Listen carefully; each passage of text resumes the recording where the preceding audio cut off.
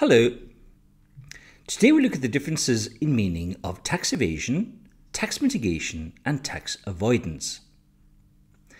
Tax evasion is an illegal way of escaping tax payment.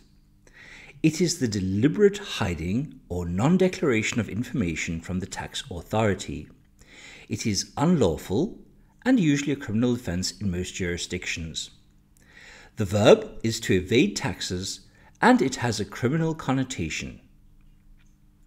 Tax mitigation is a lawful situation where the taxpayer uses a fiscal incentive available to the person in the tax legislation by submitting to the conditions and economic consequences that the particular tax legislation entails and as intended by the legislature. Fundamentally, it is a way to reduce your tax bill.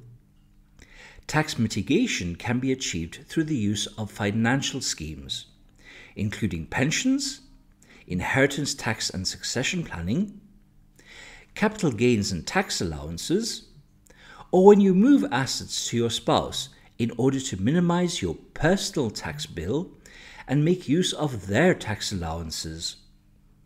The verb is to mitigate taxes and has a positive connotation.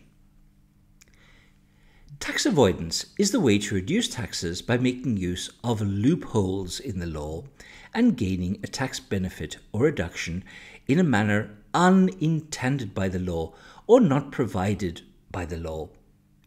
Tax avoidance is unacceptable manipulation of the law, and it is in no way similar to tax mitigation, which uses tax advantages embedded in the law. The verb is to avoid taxes and it has an immoral connotation. Thank you very much and see you next time for more Peter's Pills to improve your legal English.